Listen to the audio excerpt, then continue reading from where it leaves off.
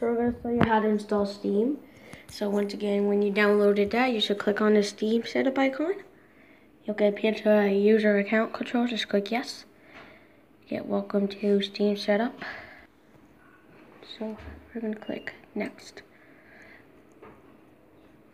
Blah, blah, blah. All this stuff here, don't want to read that. I agree to term, I'm 13 years old. Pretend that. English. Click. The space required is here, but you don't have to worry about that if you have a lot of gigs. So, to install fast, I'm going to run Steam. It's going to come with this update thing. Here, just like let it update. Here.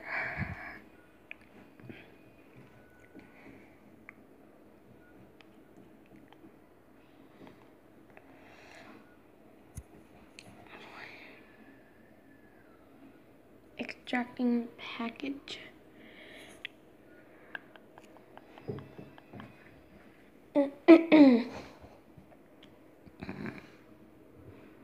it's loading now.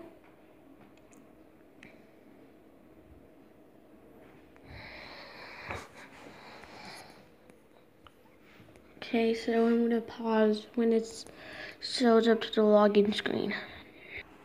So if it's the first time you install this, this screen should pop up.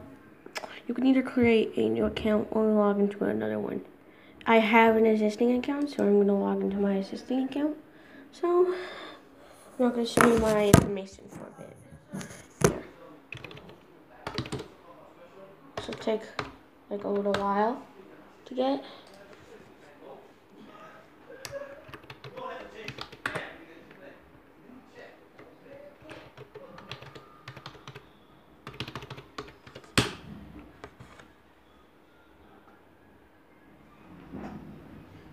Enter the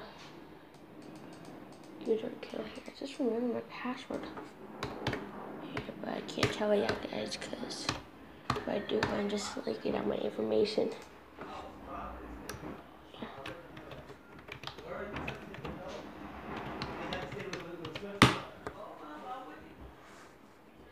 There you go. It's just saying we see you're logging in from a new computer.